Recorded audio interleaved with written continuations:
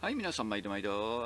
30年以上前ね、40年ぐらい前かね、シャンプーブローって2500円だったんだよね。今の相場からするとね、随分高いなって感じでね、シャンプーしてブローするだけでね。で、なんでそんな2500円も30年以上前したのかなと思うと、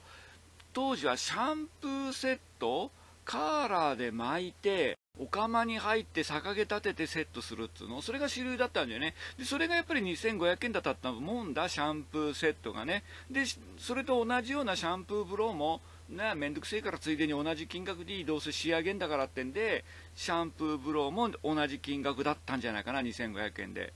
ではその時カットブローはいくらだったの？っつったらねやっぱりね2000円台だと思ったよ。もちろんシャンプーなしでカットしてブローしてね、2500円とか2800円とか、そんなもんだったんじゃないかな。シャンプーブローよりはちょっと高かったと思ったんだよね。まあでもその当時はね、お金が動いてたからね、シャンプーブローを、だからそんなんでもね、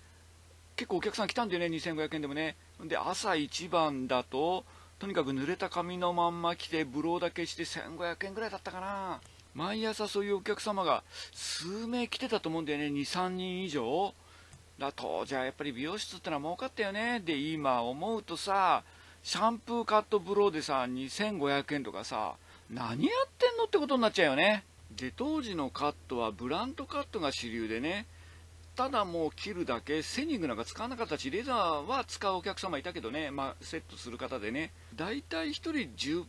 以下で切ってたんじゃねえかな、ブラントカットね。セニング入れないから早いんだよね、毛先の質感も減ったくれもねえから。で、最近のカットはね、あの若い方のは本当にシャギー入れたり毛先のね不ぞろ感の調整とかねまあおばちゃんカットは簡単だけどね、それとね若い人のカットっていうのは一緒にできないよねもう仕事内容的にね。だけど美容室っていうのはどこでもねカット一括りにしてね、まあ、3800円とか4200円とかね、まあ、5000円とかね。でやっぱりその当時の相場からすると完全に美容料金っていうのは値下げ状態になってるよね。まあ皆さんどう思うかね。最近こういうおばちゃんカットね深追いしないで切ってんの。だから1回で切れる長さコームの幅ぐらいあの、まあ、